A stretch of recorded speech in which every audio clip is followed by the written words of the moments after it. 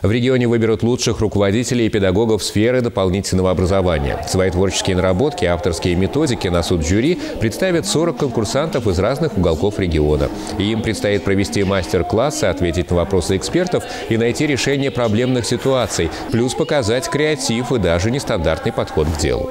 Педагоги дополнительного образования не стоят в таких условиях, когда им самим а, можно развиваться, творить, применять те самые инновационные методы, а, так как система доп. образования ну, она более креативная, она более подвижная и не настолько стандартизирована, как система общего образования. Областной конкурс признания – это площадка для обмена опытом, знаниями, а еще возможность заявить о себе на весь регион. Педагог из Собакаевской средней школы Елена Овчинникова проведет мастер-класс по актерскому мастерству и расскажет о своих секретных приемах в работе с детьми.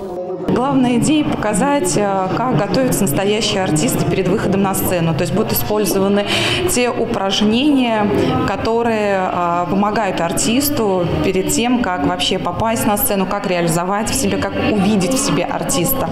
И будет небольшая импровизация сказки.